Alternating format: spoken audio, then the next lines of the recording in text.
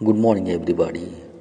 Hello, friends. I am once again your favorite professor, Devasi Sota, astrologer, human potential trainer. ମୋର last video ସବୁ ଦେଖୁଥିବେ thank you ଏଭ୍ରିବଡ଼ି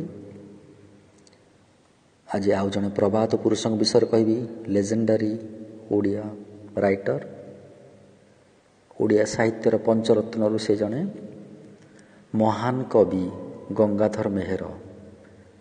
ଯାହାଙ୍କର ଜନ୍ମ ହୋଇଥିଲା ଅଠରଶହ ବାଷଠି ଖ୍ରୀଷ୍ଟାବ୍ଦରେ ଓ ଦେହତ୍ୟାଗ ସେ କରିଥିଲେ ଉଣେଇଶହ ଚବିଶରେ। ପ୍ରକୃତି କବି ଗଙ୍ଗାଧର ମେହେର ଓଡ଼ିଆ ଜାତିର ପ୍ରିୟ କବି।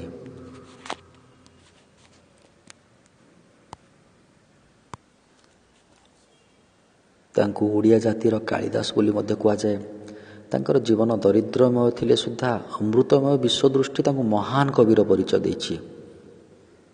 କବି ନିଜ ସ୍ୱୀକାରୋକ୍ତି ସ୍ୱରୂପ ଲେଖିଛନ୍ତି ଦରିଦ୍ରତା ପଙ୍କପୂର୍ଣ୍ଣ ମୋ ଜୀବନ ସର ଜଞ୍ଜାଳ ଜଳଦ ଜଳ ଆବିଳ ଉଦର ପୁଣି କହନ୍ତି ମୁଁ ଯେ ଅମୃତ ସାଗର ବିନ୍ଦୁ ନଭେ ଉଠିଥିଲି ତେଜି ସିନ୍ଧୁ ତାଙ୍କ ରଚିତ କାବ୍ୟ ଇନ୍ଦୁମତୀ କୀଚକବଧ ତପସ୍ୱିନୀ ଓ ପ୍ରଣୟ ପ୍ରଣୟ ବଲ୍ଲରୀ ଓଡ଼ିଆ ସାହିତ୍ୟର ଏକ ଦୁର୍ଲଭ କୃତି।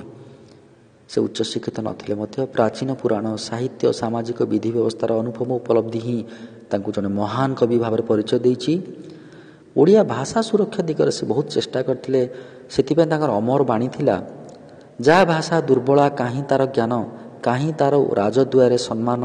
ଉଚ୍ଚ ହେବା ପାଇଁ କର ଯେବେ ଆଶା ଉଚ୍ଚ କର ଆଗ ନିଜ ମାତୃଭାଷା। ମାତୃଭୂମି ମାତୃଭାଷାର ବଦନ ଦୀପ୍ତ କର ଦେଇ ଧନ ଧ୍ୟାନ ମନ।